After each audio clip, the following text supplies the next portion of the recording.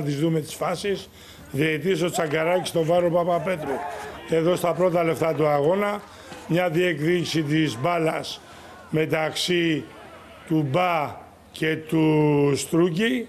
Θα δούμε ότι αυτές οι επαφές δεν στοιχειοθετούν παράβαση και σωστά ο διαιτής και το ΒΑΡ συνέχισαν το παιχνίδι.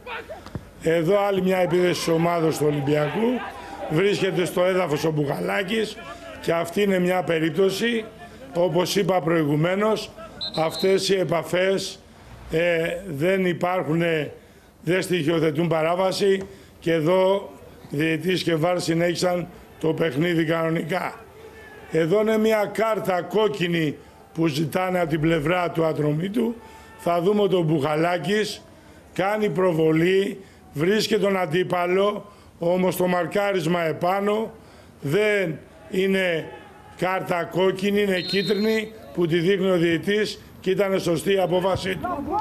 Και εδώ είναι μια φάση στην περιοχή του Ολυμπιακού. Θα δούμε στη διεκδίκηση της μπάλας. Ο Σεμέδο έχει το χέρι πάνω από τον νόμο.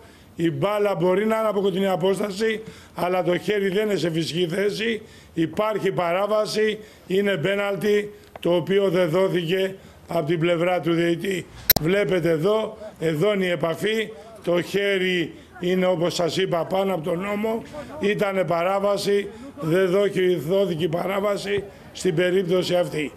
Και εδώ η επίδεση του Ολυμπιακού, εδώ το γκολ που βάζει η ομάδα του Ολυμπιακού, εδώ οι του ατρωμίτου ζητούν παράβαση για σπρώξιμο και φάουλ, όμως όπως είπα και προηγουμένως στην περίπτωση του Μπουχαλάκη υπάρχει επαφή στην πλάτη, παράβαση όμως δεν υπάρχει και το γκολ μέτρησε κανονικά, όπως το είδαμε για μια φορά ακόμα.